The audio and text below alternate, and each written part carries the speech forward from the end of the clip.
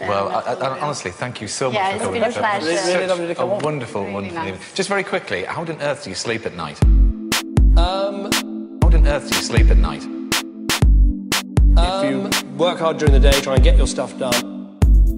Um, I note you're not answering the question. With respect, you haven't answered the question. How on earth do you sleep at night? um, if you're exhausted, you'll make rotten decisions. Rotten decisions. Um, you'll make rotten decisions. Rotten decisions. Um, How on earth do you sleep at night?